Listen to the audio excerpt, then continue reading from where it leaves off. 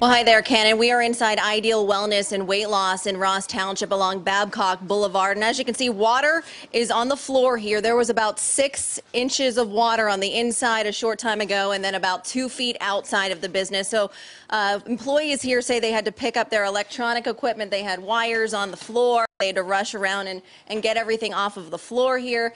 Back here is kind of like a little kitchenette area. As you can there's water covered here. There was food on the uh, shelving that they had to pick up off of the bottom of the shelves and, and put it up here on the counter as well, just to salvage those uh, items as well. And then because this is a weight loss facility, they do have scales and so forth here all over the floor. So back here, as you can see, they picked up uh, the scales um, and sat them on the seats. The, the carpet here is drenched in water.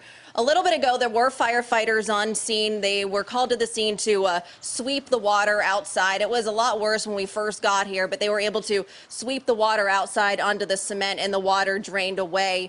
Uh, we talked to the owner of the business. He's very frustrated because this isn't the first time he's had flooding here. I think this is about the seventh time in the last couple years. Um, there's a catch basin out here that it's an overflow from the lake and it overflows and just pours into the lot. It's supposed to go into the into Girty's Run. We had at least two feet of water outside the door, and I was out here with buckets trying to help them out. I have some pumps in here and everything. It's just just way too much water coming down.